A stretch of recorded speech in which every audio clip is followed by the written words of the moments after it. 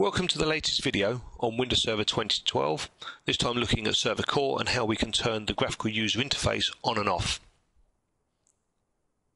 Starting with Windows Server 2008, we got a range of different administrative experiences. So we got Server Core introduced, which gave us a command line administrative experience for infrastructure servers. We then got Server with full graphical user interface, which gave us the traditional Windows experience for administration that we're familiar with. And then we got the desktop uh, experience added to that to be used in scenarios where we wanted to use the machine as a remote desktop server, for example. Windows Server 2012 really gives us two new features. Feature one is the introduction of a new minimal server experience. So this is a little bit like Server Core with the ability to use management tools only. So uh, Server Manager, but there's no Internet Explorer. There's no Explorer Desktop, for example. The second element is this ability to actually move up and down between the levels, the ability to install and remove the graphical user experience as we want to administer the system. So let's try and see this in action. So I'll log on to my Windows Server 2012 Server Core system, and the Server Core installation is now the default installation method. So in order to do this, the first thing you need to be aware of is you need access to the source files. So either the machine needs to be able to contact the Microsoft uh, update site or you need access to the install Wim from the installation media. So in an install directory, I have a copy of the install Wim. So the first thing I'm going to do is create a directory which I can then use to mount the install Wim on. So I'm just going to create a folder called Wim mount, so an empty directory, and then use the DISM utility so that I can actually then mount the, v, the Wim file on the back of that. So I don't need to use PowerShell, but the actual commands I'm going to need to install the console I'm going to do within PowerShell. So I'm going to just use power, a PowerShell prompt to run DISM. So going to use DISM, get hyphen Wim info, and then specify the Wim file, so forward slash Wim file, c colon backslash install backslash install.wim. The reason for this is we just need to highlight uh, which uh, media we actually need. So the key element here is I need to use um, media index number 4 because that's the version that contains the correct copy of Windows Server 2012 that I want. So the Data Center edition, but also the full graphical version because it's the graphical tools that I want to use. So I'm now using the DISM command with the forward slash mount hyphen wim parameter to actually mount that wim file. So specify the wim file as c colon backslash install slash install dot wim. Obviously index number four for the image file that we need. And then the mount dir um, to specify the actual folder where the wim file is going to be mounted. And we're going to use the read only parameter just so that we can't edit it. Obviously, mounting the WIM file does take a, a few seconds, so we'll just speed the video up here to improve that performance. So as we can see, the WIM file is now mounting. Uh, hopefully it won't take uh, more than a, a, few seconds to complete. There we go. And once the WIM was mounted, as always, uh, for those that many of you got have experience using DISM and WIM files, we can also now go and look at the contents of, of the file that we've just mounted. So if I just do a dir and have a look into the Wim mount folder that I created, we will actually see the content of that folder or that directory structure. So that allows me to have access to the source files required. So what I now want to do to install the graphical user experience is I want to use the PowerShell command install-windows feature. And I'm actually going to install two parameters here, so server-GUI hyphen management hyphen infra. That gives me the uh, minimal experience. So this would give me the experience of having server manager, and I'll show you that experience on its own in a moment. And I'm also going to add on the second parameter of server hyphen GUI hyphen shell. So that's going to give me the full graphical experience. So Internet Explorer, um, uh, Explorer, and everything you would expect. So in this instance, I'm specifying the source parameter to point it to that folder.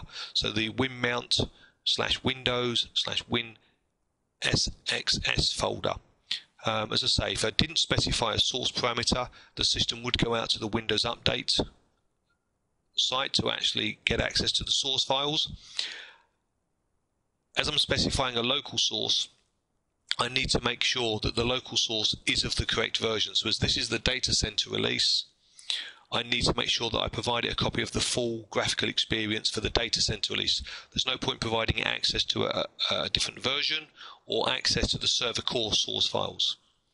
So hopefully as we can see we're progressing along and actually installing the components. So again I'll just speed the video up as we're going through this process.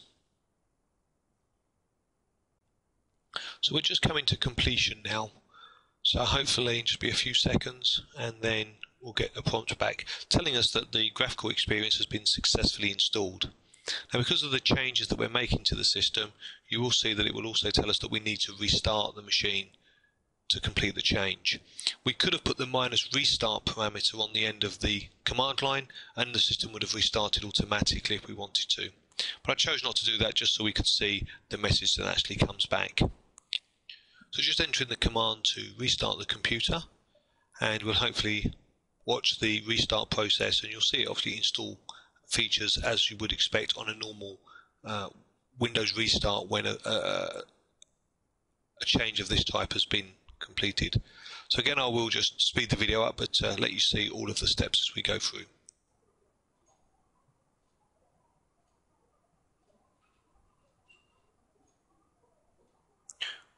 With the reboot almost coming to completion now, hopefully we should be able to see how the experience has changed on this particular server core system. So see we're just starting to uh, boot the machine. In reality this would more than likely take um, about a minute, um, maybe a minute and a half to complete these activities depending on the sort of performance of the system. So there's the login screen so we can just supply the password and log into the system. So the first thing you'll notice, we actually go and do some uh, user experience customizations that you'd get on a traditional Windows machine. So something you don't normally see on a server core system. Obviously straight away, you'll start to notice uh, that we have a taskbar down the bottom with notification tray and obviously the buttons. You can also see that Server Manager has actually launched automatically as well, got the recycle bin on the desktop so we can start to see that we've got a traditional uh, graphical environment for a Windows Server 2012 system. If I start to sort of navigate around the system, uh, you'll see that uh, I have a variety of management tools available to me depending on what's been installed. So the experience that we would expect to have. So what I'm going to do now is I'm going to reduce the system back to the management infrastructure. So this allows me to run server core, but with uh, basically with uh, some of the management tools, so server manager, MMCs, and so on. So you can see I'm going to do the uninstall hyphen Windows feature, and I've used the uh, server GUI option with the minus remove. The minus remove actually goes and deletes the files from the, the disk. So if I wanted to reinstall them, I, again, I'd need access to the installation media. So this is really removing anything that would be regarded as, as, as non-management related. So obviously tools like Internet Explorer we got rid of. Um, and we're really just going to um, get back to the bare bones with server manager and some MMCs. So just going to restart the machine as before, because again, as you can see, it does actually require the, uh, a restart for the uh, completion of the uh, change. So again, sped the video up a little bit here just to improve the reboot performance. So as you can see, we're just finishing off the configuration. So again, sign into the system. So just enter the password. And this time we'll get a, a slightly different experience. So this is going to give us the server core experience with the command prompt, but you'll also see server manager launches. So no taskbar down the bottom, no notification tray, no buttons. I wouldn't have the Metro interface um, available to me that we get on the Server 2012 machine as well. And we can see the Server Manager console come up. So this is this hybrid, this new level uh, that we've never had before in any of the Windows operating systems.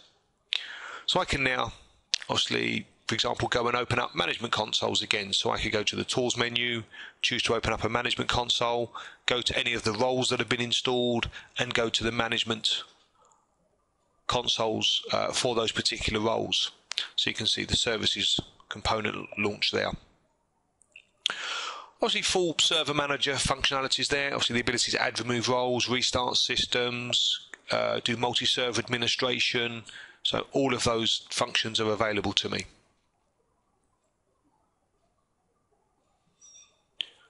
So the last thing we need to do is really set the system back to being a normal server core based system. So resorting it back to a normal server core system, again, open a, a, a PowerShell prompt and we'll go from there. So just to show you, if you did by accident close Server Manager, Server Manager can just be relaunched with Server Manager.exe and I'm straight back into the Server Manager utility. So let's try and remove that now. So PowerShell. And just as we did just now, we'll use the uninstall hyphen Windows feature command line utility. Now again, one of the things you would have noticed here with using PowerShell is I've not been loading any modules. One of the features of PowerShell version 3 is auto module load. So it will find out which module contains the command that you want to run. So we're going to remove the server GUI management infrastructure, INFRA, and again with the uh, minus remove parameter if we want to remove the source files or if I choose not to use the minus remove parameter it will leave the source files on the machine so I can install them without having access to the, the source content or downloading them from the internet again. So we'll just restart the machine and you'll see the restart process again speed it up a little bit just to actually keep the experience a bit more efficient. So system's just coming back and again we get the log on screen and we can log into the system again. And when we log into the system we'll see that we have a far more traditional server core experience. So this time just purely um, the command prompt. You see that if I try to run server manager it reports back that it's an unrecognized command. So I couldn't even launch the management console automatically if I wanted to Thank you very much for this video.